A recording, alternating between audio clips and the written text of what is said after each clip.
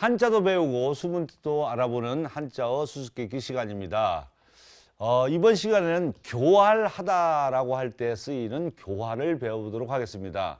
교활 하면 그야말로 교활하고 간사한 거예요.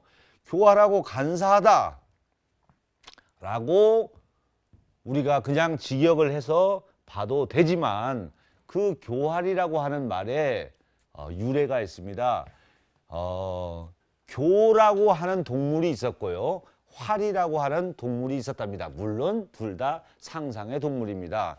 이 교라고 하는 동물은 몸뚱이는 개 모양이에요. 근데 표범처럼 몸에 줄이가 있어요. 호랑이나 그 표범처럼. 그래서 어 아주 교활한 어떤 동물이었대요. 그래서 어 머리에는 뭐 소처럼 뿔이 달려 있고 어, 어 이렇던 거고 그다음에 활이라고 하는 동물은 어 이 교보다 더 간악해요. 간사하고 간악해서 어, 생김새는 꼭 사람 사람 같이 생겼다는 거예요. 근데 온몸에 돼지털이 숭숭숭 나 있는 상상의 동물이랍니다. 이 교와 활이 얼마나 교활한지 어, 길을 가다 호랑이를 만나면 몸을 똘똘똘똘 뭉친대요. 가지고 아주 동그랗게 만들어 가지고 있다가 호랑이가 덥석 물려고 하면 입속으로 지가 뛰어들어가서 호랑이 뱃속에 들어가서 자기 털을 쫙 세워서 호랑이 뱃속을 아프게 만들어 호랑이가 드디어 죽게 만든답니다.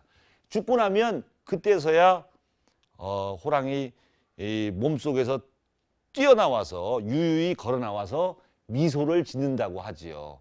그게 바로 교활한 미소입니다. 교활한 미소. 그게 여기서 나온 말이에요. 그래서 호랑이 뱃속에서 호랑이를 죽여놓고 나오면서 슬쩍 웃는 모습. 그게 바로 교활한 미소다.